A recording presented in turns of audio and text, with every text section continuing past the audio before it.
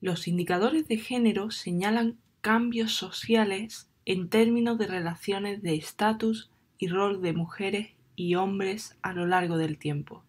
Permiten ver en qué medida hombres y mujeres participan en proyectos, si se han tomado en cuenta las necesidades básicas y estrategias si se han tomado en cuenta las necesidades básicas y estratégicas de hombres y mujeres.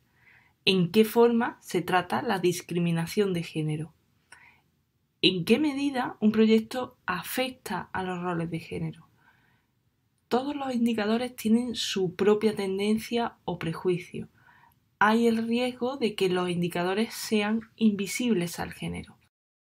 La Cuarta Conferencia Mundial sobre la Mujer de Pekín 1995 dedica un objetivo estratégico a la necesidad de preparar y difundir datos e información destinados a la planificación y la evaluación desglosados por sexo o específicos de las relaciones de mujeres.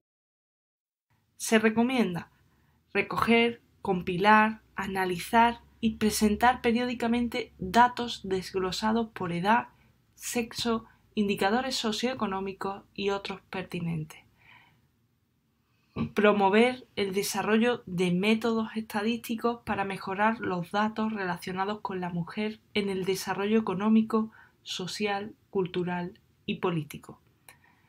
La creación de indicadores de género debe cumplir las condiciones básicas de cualquier indicador.